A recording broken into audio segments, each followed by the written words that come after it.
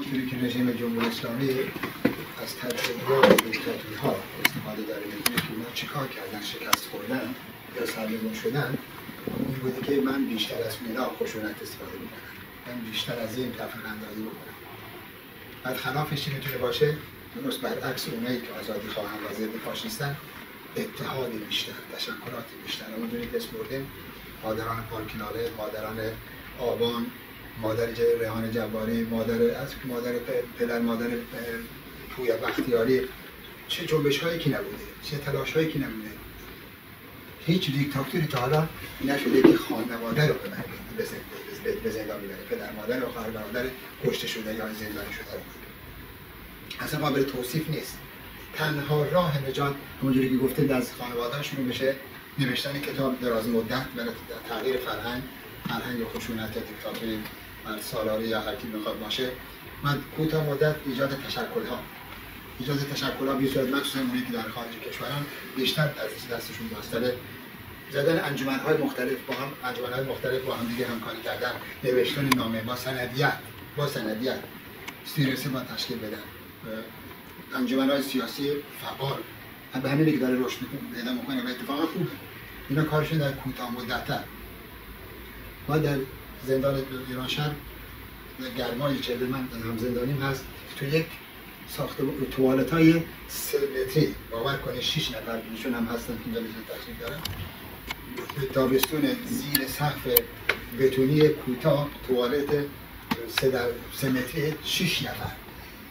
گاهی میستادیم که جای خوابیدن نبود. به کف زمین ماه ها هم شکست توهین شخصیتی خانواده به همین صورت. ما سه تا برادر هر سه تا همزمان زندان فراری.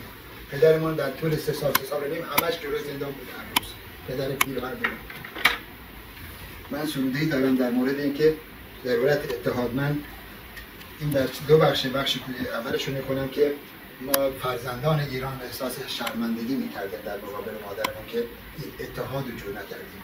سعی می‌کنم کوتاهش بکنم.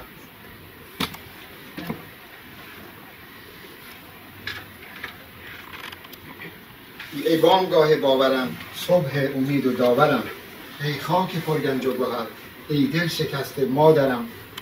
خاکت به از هستی و زر. ای جایگاه هر هنر. ما شرمساریم نزد خود. چون نامدیم هرگز به خود. در آن غرور کور خود در جنگ بودیم خود به خود. هر جان شیرین را که برد فردا بگفتیم دیر شد. ملت گرسنه در بدر دیو بدی ها سیر شد.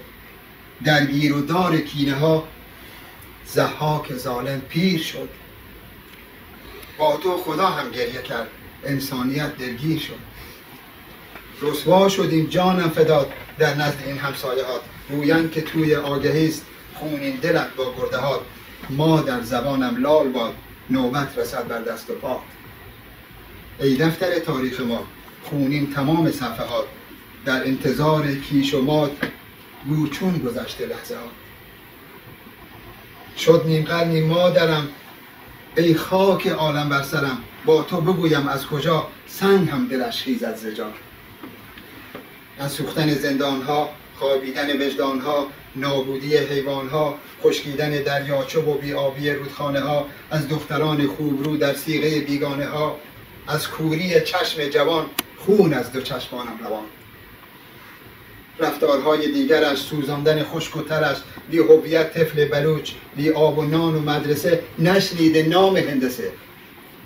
سر در زباله بهر نان هم میهنم کو قهرتان. شهر سرابان داغدار بم پشت را کشتم مزار. له زیر پاشم سقه زد هم مهرورزی آن زد.